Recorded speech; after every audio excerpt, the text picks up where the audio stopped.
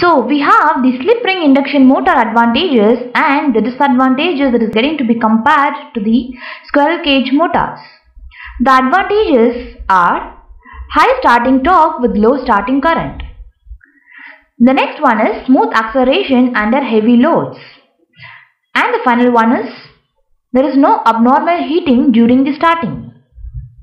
So these are considered to be the advantages.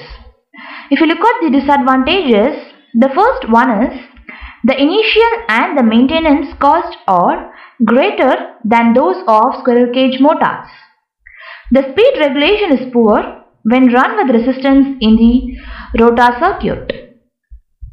So this is all about the comparison of advantage and disadvantage over the slip ring induction motor and with the squirrel cage motors.